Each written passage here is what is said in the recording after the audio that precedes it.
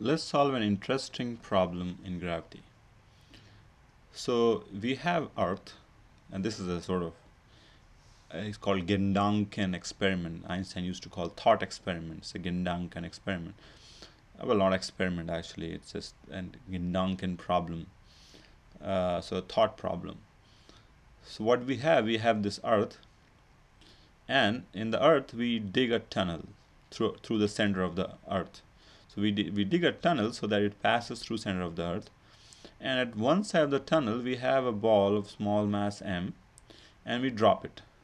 So we know this ball is going to drop, fall down into the tunnel because there's a force of gravity acting and it reaches here.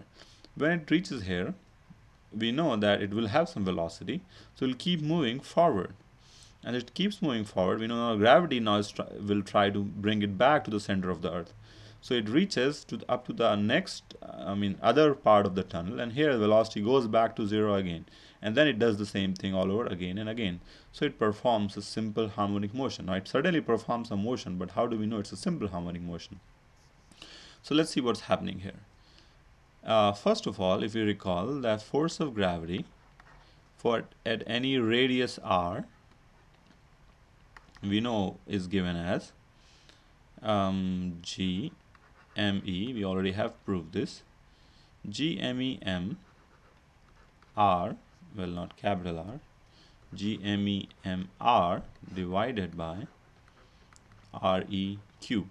This is the formula we have, where R is the distance from the center of the earth. Okay, now this looks very familiar to the case F equals KX, right? You can put a minus sign because you know if you're you're taking r to be away from the center of the earth and force is towards the center of the earth you can put a negative sign if you want but this negative sign is just for the sake of having the right directions. Anyway so this is fg so we can clearly see this is nothing but a simple harmonic motion but in fact a spring mass system with which is following this kind of equation. And we remember from our spring mass system omega square is root square root of k over m. What is k in this case?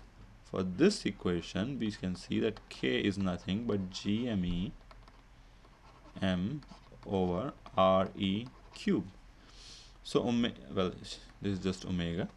So omega for this system is going to be let's put the value of k which is which is gme m over re cube divided by m which is nothing but